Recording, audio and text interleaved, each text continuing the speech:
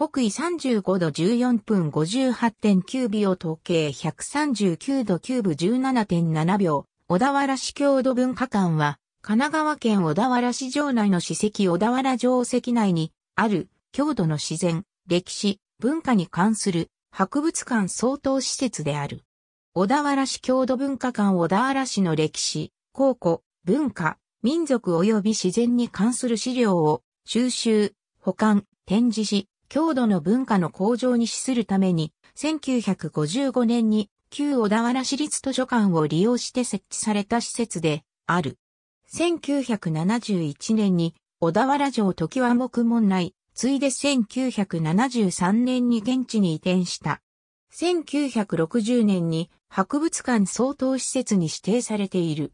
基本となる常設展以外に特別展が年1回以上企画されているほか、年数回の隠し講座が実施されており、所属学芸員や研究者による研究報告をまとめた小田原市郷土文化館調査研究報告書が毎年刊行されている。なお、1980年に小田原市板橋にあった財団法人松永記念館の解散に伴い、その施設を引き取る形で文館松永記念館が設置された。詳細は松永記念館を参照。小田原市が直接運営している。職員は6名。運営にあたっては、教育委員会の諮問に応じて、調査審議を行う小田原市郷土文化館、運営協議会が設置されており、運営に助言を与えている。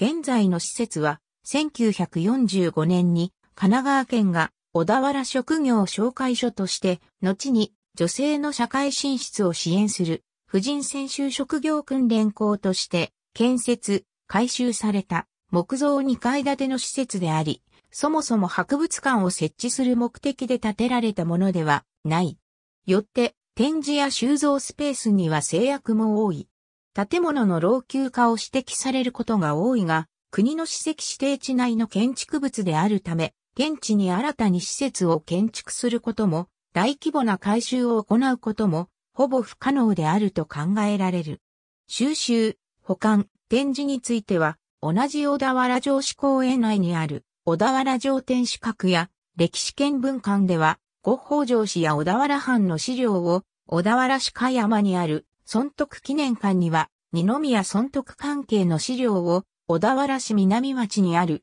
小田原文学館及び白州同様館には北原白州をはじめとする小田原出身居住の作家、文学者の資料をそれぞれ別に収集、保管、展示していることもあり、小田原市を語る上では重要と思われるこれらの展示については手薄であるか展示自体がないこともある。展示室についてはその頭に展示内容を表記して資料室と呼んでいる。小田原市には国、県指定の文化財もあるが、郷土文化館には収蔵されていない。小田原市郷土文化館研究報告書や特別展の図録を刊行している。購入には郷土文化館か松永記念館の各間独自に直接行くか郵送を依頼することになる。郵送の場合、別に送料がかかる。平成19年度小田原の教育ただし、条例に定める郷土文化館の定期休館日は12月28日から翌年の1月3日となっている。条例では、特別の展示をする場合は、500円の範囲内で観覧料を徴収することができるとしているが、徴収した記録はない。規則では、再任を妨げていない。史跡小田原城跡本丸、二の丸整備基本構想により、現在地から移転すべき施設として指摘されている。ありがとうございます。